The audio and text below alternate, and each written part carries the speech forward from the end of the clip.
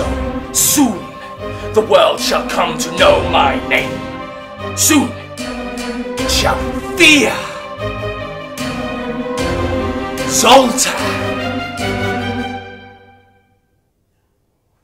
Well, Is that how you're going to do it? what do you mean? That voice. What do you mean that voice? That's my voice, my villain voice. I can't decide if it's more Doctor Evil or Chris Eubanks.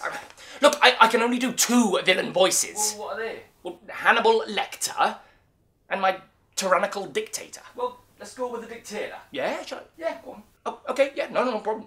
okay. Hello there, my name is Zultan and I. Yeah, let's go for Chris Eubanks.